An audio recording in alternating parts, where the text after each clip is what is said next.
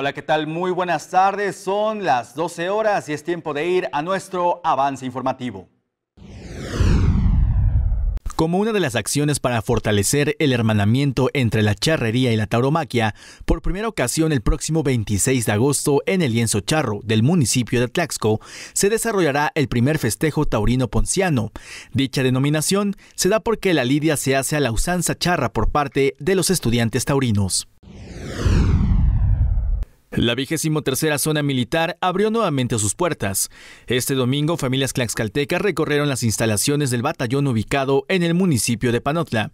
Ahí los visitantes conocieron parte de la armería que disponen los militares, también algunos vehículos de transporte y reconocimiento en los que se pudieron subir.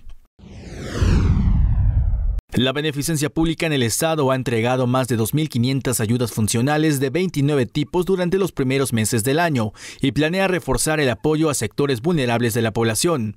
Estas acciones están coordinadas con el gobierno federal para atender al mayor número de personas que padecen alguna discapacidad. El Tour Latinoamericano de Básquetbol tocará tierras tlaxcalteca los días 31 de agosto y 1 de septiembre en Iztacuistla y Panotla, sede de los partidos de México ante Panamá y Colombia ante Nicaragua respectivamente en la categoría U19 se dio a conocer la incorporación de dos jugadores de Tlaxcala en la representación tricolor y quienes ya habían sido seleccionados para el torneo mundial 3x3 que estuvo en Colombia el año pasado. Este lunes regresaron a clases más de 25 millones de estudiantes de educación básica para el ciclo escolar 2017-2018, informó la Secretaría de Educación Pública. La dependencia federal señaló que este 21 de agosto también retornaron a las aulas 1.211.921 docentes, de los cuales 236.533 dan clases a nivel preescolar, 570.287 en primaria y 405.101 en secundaria.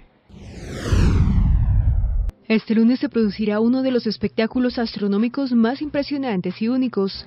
Un eclipse solar total que podrá ser admirado de costa a costa de Estados Unidos y parcialmente en otras naciones del continente americano. El eclipse podrá ser visto a lo largo de una franja de más de 110 kilómetros de ancho que atraviesa Estados Unidos desde la costa del Pacífico a la del Atlántico, partiendo de Oregón a Carolina del Sur, en la que la luna cubrirá completamente el disco visible del Sol. Hasta aquí con la información, pero lo esperamos a las 14 horas en la segunda emisión de Ahora Noticias. Hasta entonces.